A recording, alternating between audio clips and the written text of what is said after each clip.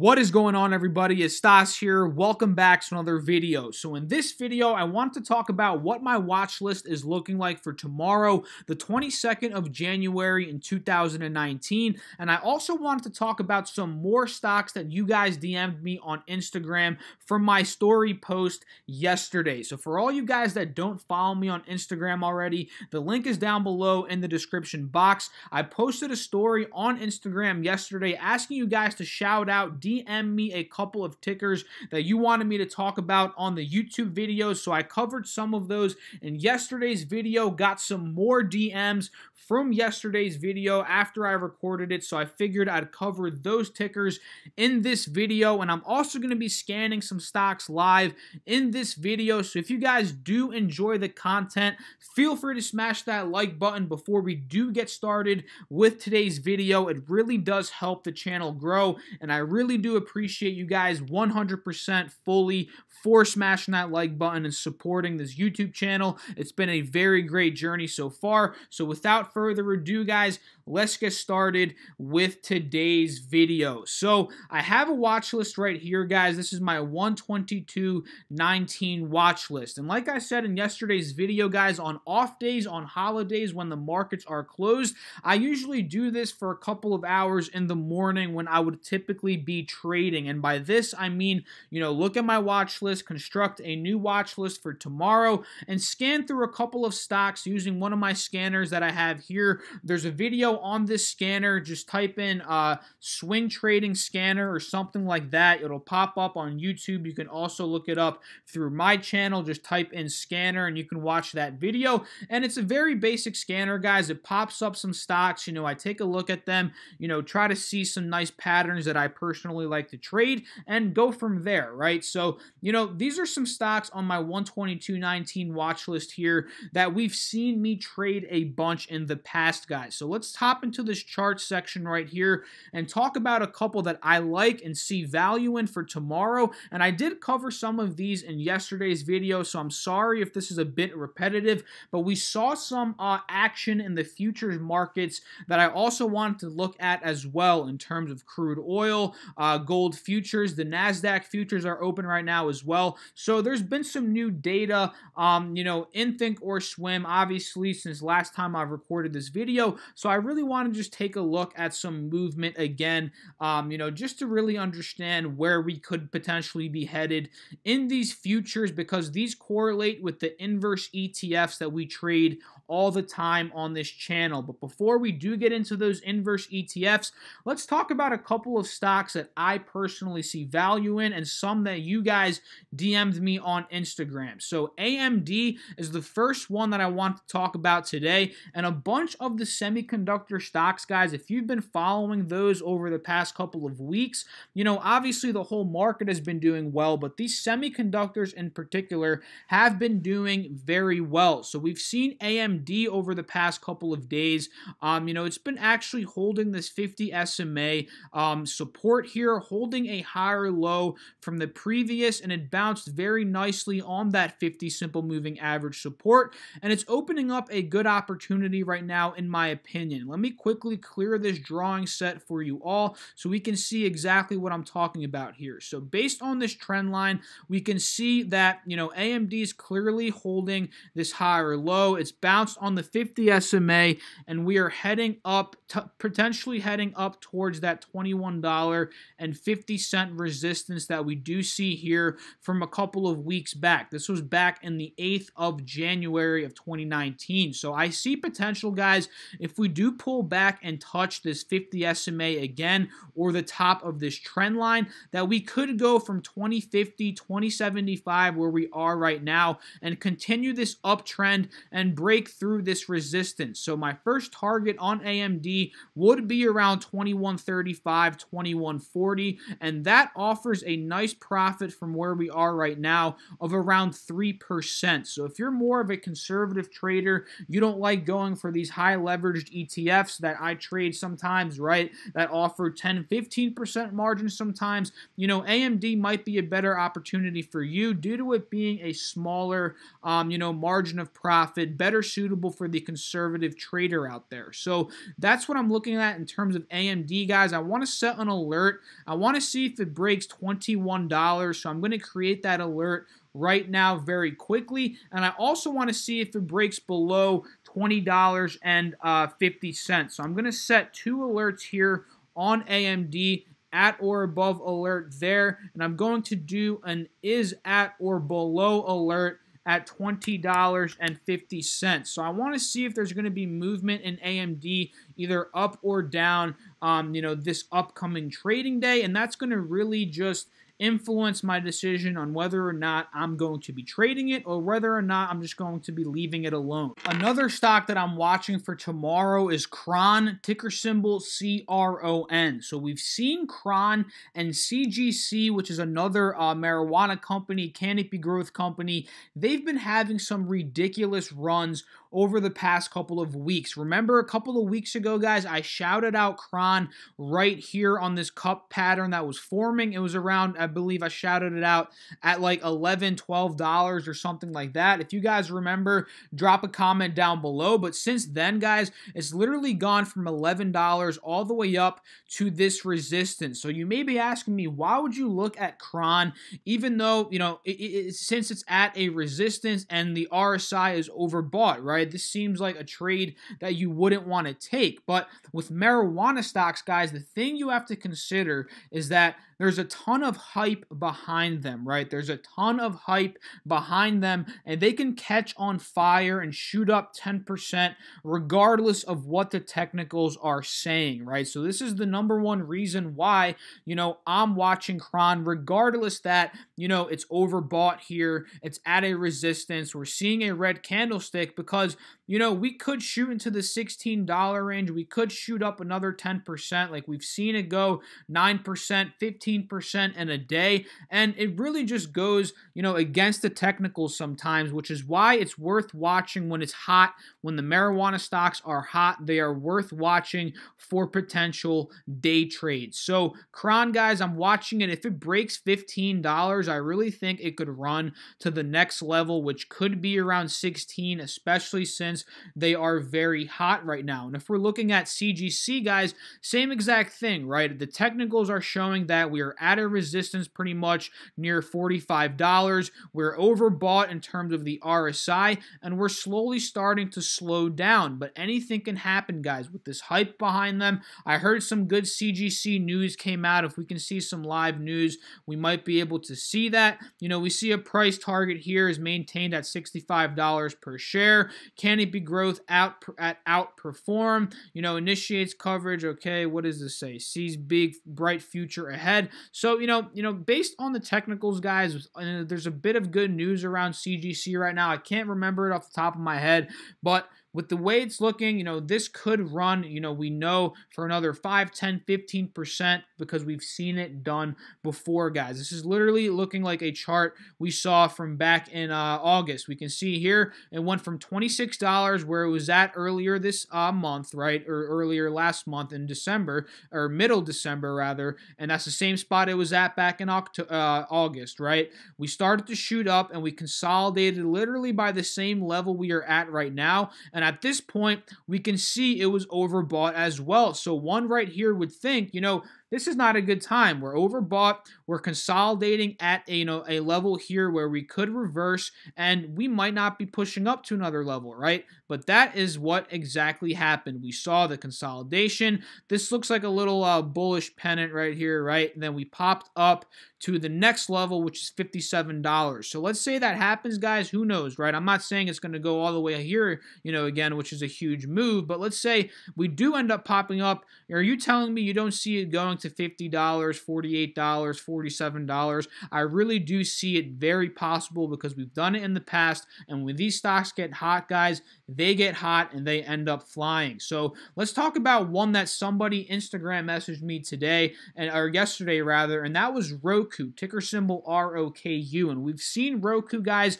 This stock went ballistic, I believe, two weeks ago when it went up like 30% in the matter of two, three days. And if we zoom in here, you'll be able to see that, right? From $30, we went all the way back up to $45, which was roughly a 33% move. And from there, we've been holding the $39, $40, $42 range as a new support level for the stock. So this is a good sign, guys, because over the past literally like 8 to 10 trading days, We've been at that support level consolidating nicely on the 180 SMA, and we are seeing a very bullish um, crossover here on the simple moving averages. We've talked about this a bunch in the past, but when the 50 simple moving average breaks the 180 simple moving average to the upside, like we're seeing here, that's a very bullish signal. That does signal, it could signal that the stock is pushing up. It has upwards upside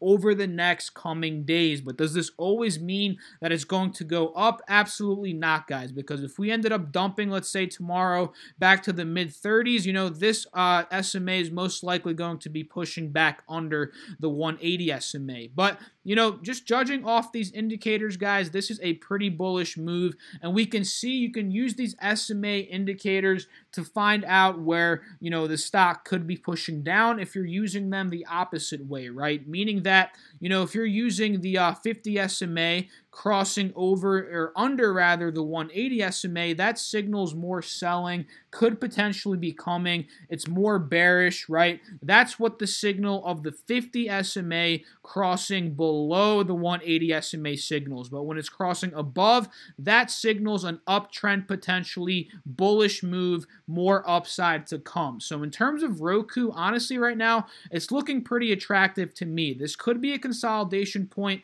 before we bounce on the 50 SMA and start to head back up to, let's say, the $45 range. And this is exactly why I do have it on my watch list. So thanks for the shout out, man. This one's looking pretty good in my personal opinion. Drop a comment down below for any of you all that are still following along and uh, want to just drop a ticker. You know, drop your comments on these stocks. I would love to know what you think. So I'm going to create an alert very quickly here at $41 and uh, 50 cents is at or above. I want to get notified if we do start to push back up. That's going to signal a good buying point in my personal opinion. So what other stocks are we looking at, guys? Tesla's another one. I'm not going to go too deep into this because I talked about it in yesterday's video, but we're holding the $300 support. Uh, not really holding it. We're still hovering above it with the green candlestick here on the 180 chart. And I really want to see Tesla, guys. I don't know why my alert's not here, but I really want to see Tesla hold this 300 level, get back to the 305 level, 310 level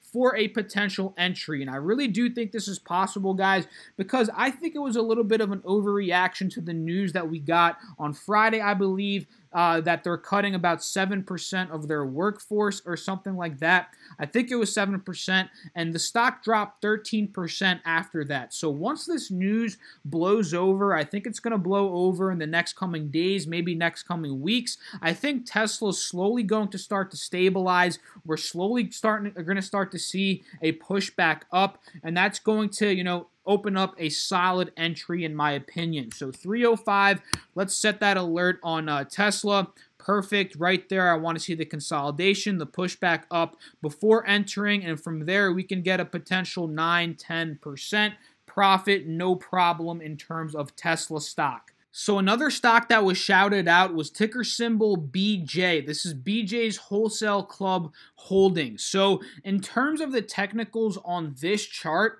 it's actually looking pretty solid, right? We saw a bottoming out point, a double bottom here on uh, the BJ, right? And this is a good pattern for a reversal to the upside when we do see a double uh, bottom, right? And we kind of see a uh, inverse head and shoulders here in a sense as well. We're seeing this W pattern, and what I really do like about this is that we peaked above the uh the uh what's this called? This resistance at around $24.65 we peaked above it all the way up to around 25.50 and now we're pulling back with a solid green candlestick at a higher low from the previous low at around $23.65. So what I want to see, honestly, in terms of uh, ticker symbol BJ, is I want to see it break out of this $25 range. I really want it to be out of this resistance spot here because let's say now that we dipped below it, let's say on Monday we end up opening, or on Tuesday rather, we end up opening down in the $24 range.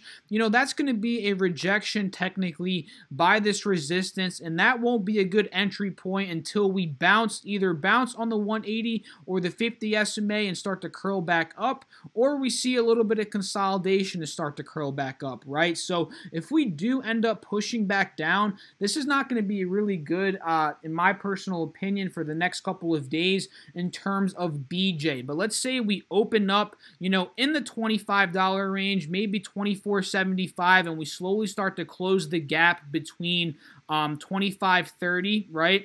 And around, let's say, uh, 2570, right around here, that's going to be a good sign, right? And we, if we potentially fill this gap of 3%, we could run if we break the 25.30 of resistance and head into the $26 range, right? That's not too out of reach, but first, like I said, I would love to see it slowly start to get into the 2470 range to fill this gap that we have right here. So that's what I'm looking at in terms of uh, ticker symbol BJ. Another one that was shouted out was ticker symbol SQ, and this is Square. And in terms of Square, you know, this is not looking like a stock that I'm uh, looking to trade, to be completely honest with you guys, right? So we see here, and my reasoning behind that is that you know, Square is extremely overextended right now in terms of the RSI, right? We're nearing a resistance at around $73,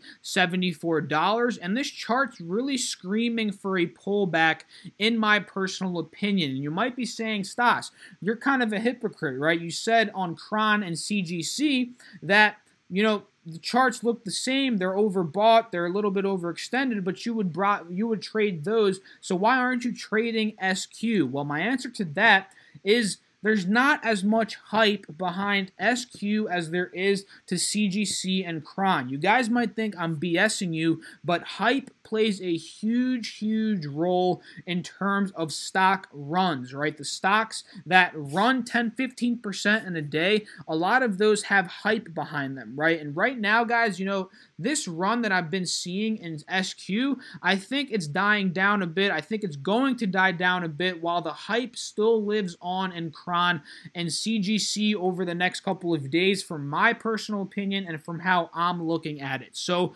in terms of Square, honestly, I would just love to see a pullback on it. If it pulls back maybe to 68, 69, that could be a good spot to hop in because at that point, you know, we'll be at a point where we'd be able to fill that gap again if we do end up holding it as a support level. And by that, I mean, you know, if we pull back here, end up holding this level, we could fill the gap from there back up to $71, $72, which would be around a 6% profit, or back to 74 if we do get to this resistance, which would be around a 9, 10, 11% profit. So that's what I'm looking at in terms of SQ. Would love to see a pullback before a potential entry into that one right there. So that's really just a couple of stocks that I got called out on Instagram. Not too many, and they are looking pretty attractive uh, in my opinion, especially if Square does end up pulling back. So, really quickly, let's take a look at the NASDAQ futures, guys. We do see they're down about $40 right now, down about 0.6%. So, the rejection at the top of this channel looks pretty valid in my personal opinion, and it looks like we're headed back to that 6680 level as of right now, which would touch that 50 SMA as a support, right? We see the cross here, the 50 above the 180, issuing more bullish run potentially, issuing more uptrend, uh, you know, movement to come. We saw that from the cross, right? It crossed around here. We pushed up for two higher lows, and now we're pulling back. So I'm going to take a look at the $6,700 range potentially as a new support for the NASDAQ futures. And if we're taking a look at the crude oil futures, they're currently up around 12 points. So if we start to pull back a little bit heading into the market open tomorrow, that could be a good sign for DWT. And once we start to hold the 50 SMA, that could be a good sign for UWT as a potential reversal spot to the upside for crude oil. And for those of you guys that don't know what I'm talking about, UWT and DWT, they are two inverse ETFs that trade on crude oil. And the beautiful thing about it is if you play them correctly, you can play the pullback on crude oil if we do have a pullback by playing DWT because that one goes up when crude oil sells off. And you can also play the uh, the inverse, which is UWT, if we do get the pullback and we start to consolidate and curl back up for the continuation of the uptrend, right? That would be a good spot to get into UWT for a, you know a couple day swing trade if you do want to, or a day trade, right? And I say if you do want to because they're technically not meant to be uh, held for more than one day. These inverse ETFs, right? If you read the website, there's a warning. It tells you that. But you can get away with holding them a couple of days. I've personally done this. I haven't really been doing it over the past couple of months, but I'm guilty of doing it. You know, a couple months back, I do it here and there when I see a screaming opportunity. And if we do pull back here, guys, this could be a good opportunity for a couple of days in uh, UWT. And also, JDST is looking pretty good, which is a gold future ETF, the bear ETF, meaning whenever gold futures are going down, JDST is going up. So we saw the big sell off at the rejection at the $1,300 level in terms of the gold futures. We're holding the 180 SMA here, but if we break the 180 SMA, that could be a good opportunity to trade JDST for a couple of days. But if we hold this spot, you know, this could be a very good entry level for JNUG, which is the inverse to JDST, right? So if we hold this and start to push back into the 1280, 82, 83, maybe mid 1280s, that could be a very good entry for JNUG, guys. So now that I went over a couple of stocks, ETFs, you know, I know some of them I talked about in yesterday's video, some new ones as well. Let's take a look at what I do in terms of scanning. This is only going to be about a minute or two because I don't want to hold you guys too much longer, but it's very simple, guys. I have this scanner here. It's pulling stocks that are between 20 and $40 with a million volume minimum to the maximum, which here is about 200 million. And we have the beta here, which really shows how volatile a stock is, right? If you Again, if you guys want to see a more in-depth video on this, type in on my channel scanner. You'll find the video. The thumbnail is a, it says swing trading scanner. Click that video, watch that video, but it's very simple, guys. I just run the scanner, click scan, and then I go through these tickers and I find ones that look attractive in my personal opinion, right? So let's say I want to look at eBay. I would go to charts here and I would type eBay, right? eBay then we'll see the chart. We'll do some lines, technical analysis, supports, resistances, all that jazz. And then we'll decide whether or not we want to add it to our watch list, right? And this is how I actually found AMD. No BS here, guys. I, I scanned it, looked up AMD. You know, I went to the charts boom, boom, boom, right? I just typed it in, and then we see exactly what it's looking like, uh, you know, from my technical analysis, right? And then I added it onto my watch list because I want to see for a potential breakout, right? So this is just very simple, guys. It does take time, but if you have 30 minutes and you get very efficient at doing this, you can build a watch list very quickly with like 30 40 stocks in it that do that do have potential value to you and it really does depend on the situation right guys? Sometimes you won't find many stocks but sometimes you'll find a bunch. But you know going for around 10 stocks is not too out of the uh, reach here not too long of uh, you know it doesn't take too long to do it. Let's type in AA right Alcoa. So we can see that one's not looking too good. It's getting rejected by the 180 SMA let's screw down a little bit. And you can also like, you know, you can filter. If you want to see the ones that had the biggest gains, all right, let's take a look at OZK and FANH. So OZK reminds me of Ozark. Have you guys watched that show? I've heard it was pretty good. I might take a look at it. What was the other one? Um, what was the other one? Oh my God, my short-term memory is crap. F A N H, right? So we can see that one looks a bit overextended, right? So F A N H. Let's take a look at that one. All right, this one, okay, this one's looking like it found a bottom here. It's pushing back up. This could be a potential breakout spot, right? So you can see, guys, what I pretty much do here. And, you know, there's a bunch that you'll know based on the ticker. Well, I know a bunch of tickers. You know, I don't know how many you guys know, but there's a bunch that I can pull out here so we can take a look at. M, right? This is, uh, what's this one? Uh, Macy's, right? Macy's, yeah, we can see Macy's here. We're slowly starting to curl back up. This one could be a nice potential play back up to the 50 SMA at around $27. And if it breaks that, you know, back to the 180 SMA. So that's pretty much what I do, guys. You know, I scan, add them to my watch list, and continue rinse and repeat process, right? So drop a comment down below. Let me know what you guys thought about this video. If you did like it, feel free to drop a like, leave a comment, subscribe. Follow me on Instagram as well as on Twitter, and join our Discord group chat as well as our Facebook group. All of those are linked down below in the description box. I'll catch you guys in the next video. I hope you all enjoy your night. Peace out. I'll catch you in the chat tomorrow morning. Good luck to everyone. I'll see you soon.